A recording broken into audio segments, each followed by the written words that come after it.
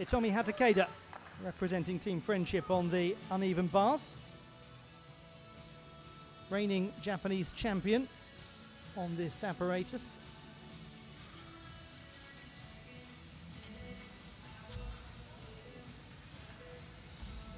Pak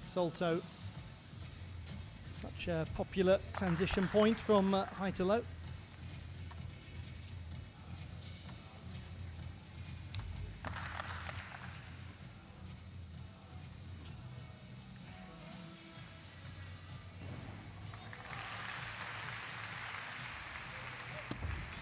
No issues whatsoever for Hitomi Hatakeda. It's been the story of the day so far for just about every gymnast that we've had the chance